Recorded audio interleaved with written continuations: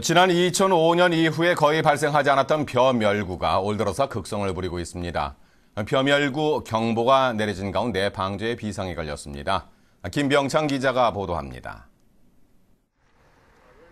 경주시의 한 들판, 추석을 앞두고 일부논의 벼가 누렇게 익어가는 가운데 풍년을 예감케 하고 있습니다.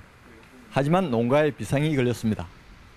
아직 피해가 겉으로는 나타나고 있지 않습니다만 거의 모든 지역에서 벼멸구가 발생했습니다. 지난달 21일 기에 도내 전 지역에 벼멸구 경보가 발령된 가운데 경주시가 지난달 말 조사한 결과 전체 논의 20%에서 벼멸구가 관찰됐습니다.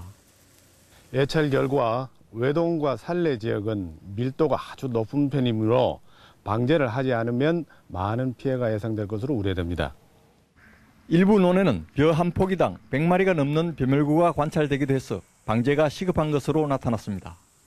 특히 올해는 벼멸구의 발생 시기가 이른 데다 고온이 지속돼 조기에 방제하지 않으면 큰 피해가 우려됩니다.